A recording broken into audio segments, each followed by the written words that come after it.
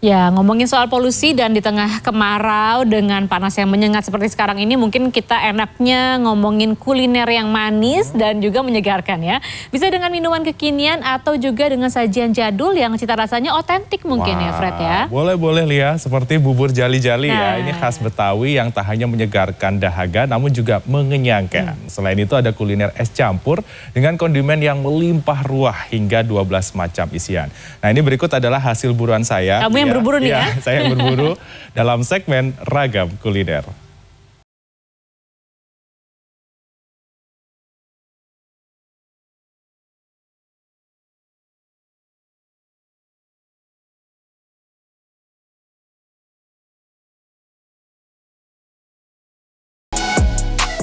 Aduh, panas, gerah.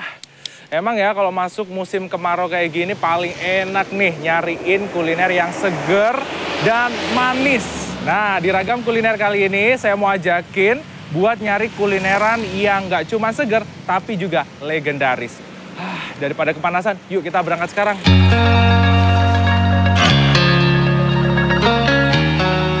Cuaca panas terkadang memang menguji emosi ya. Nah, buat ngademin, kita butuh yang seger-seger nih. Nggak salah kalau saya mampir di salah satu kedai kuliner manis tradisional legendaris yang berada di kawasan Tambora, Jakarta Barat. Kedai ini sudah ada sejak 30 tahunan lalu loh, atau di awal tahun 1989. Ada beragam pilihan kuliner tradisional, namun yang paling favorit adalah bubur jali-jali khas Betawi dan bubur sagurangi talas khas Kalimantan. Hmm. Hmm. Manis.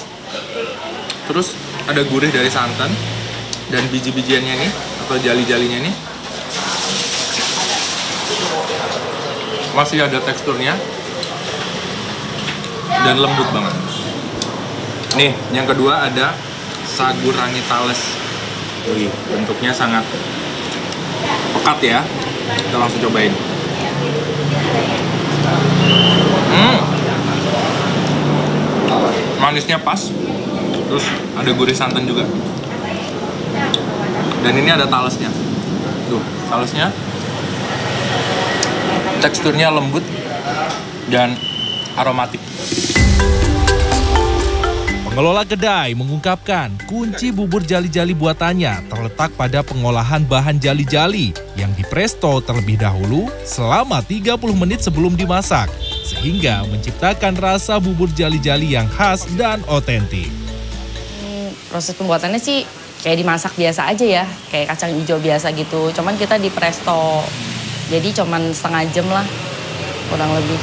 Mungkin rasanya kali ya, pertama dia nggak terlalu manis, terus dia juga kan biasanya juga uh, orang biasa pakai untuk diet juga bisa karena kan dia kan termasuk uh, tipe yang uh, biji-bijian kayak padi-padian gitu kayak gandum gitu kan. Bubur jali-jali khas Betawi dan bubur sagu rangi talas khas Kalimantan masih menjadi primadona bagi penggemarnya. Untuk model jali-jali ini memang jarang. Oh. Ya, makanya sejauh itu saya sering ke sini buat langganan. Oh, gitu. Dari sana-sana banyak kan kacang hijau, ketan hitam, kalau burjali jarang.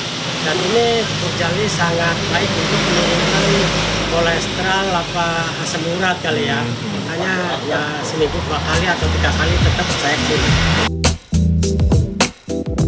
Untuk bisa menikmati kuliner bubur jali-jali dan bubur tradisional lainnya, tak perlu merogoh isi dompet terlalu dalam kok cukup seharga Rp12.000 saja.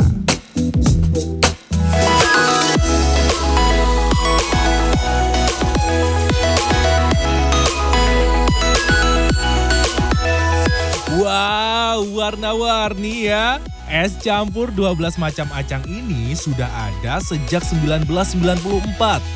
Lokasinya ada di kawasan Sawah Besar, Jakarta Pusat.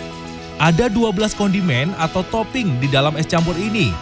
Mulai dari kacang merah, kacang hijau kupas, biji selasi, pepaya muda, cendol, cincau, agar-agar, rumput laut, pacar Cina, tape, gula merah, dan santan gurih. Paduan isian dengan gula dan santan membuat tampilan es campur legendaris ini nampak menggiurkan. Saya nggak sabar nih buat menikmatinya, apalagi di kala hari sedang panas kayak gini.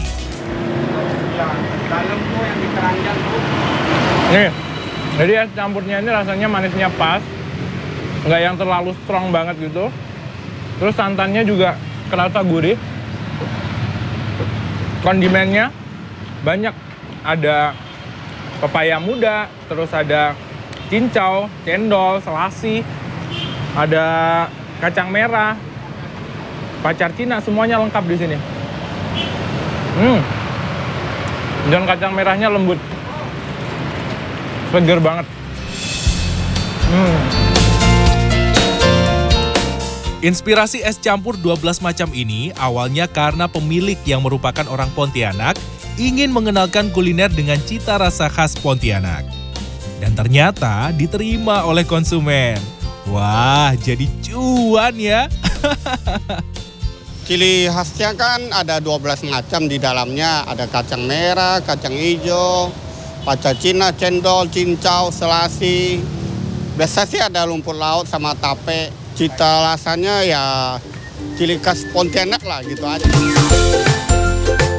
Satu porsi es campur 12 macam acang dihargai Rp10.000 jika dinikmati di lokasi. Kalau dibungkus menjadi Rp15.000. Es campur 12 acang buka mulai pukul 11 siang hingga 9 malam.